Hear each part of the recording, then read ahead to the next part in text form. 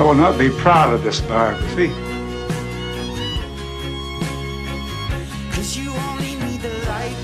I don't have a lawyer.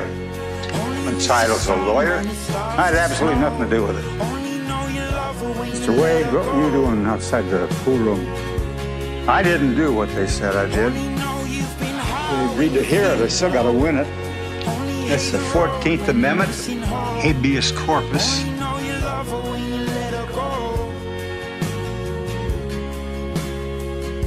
Until getting the jury finds you not guilty.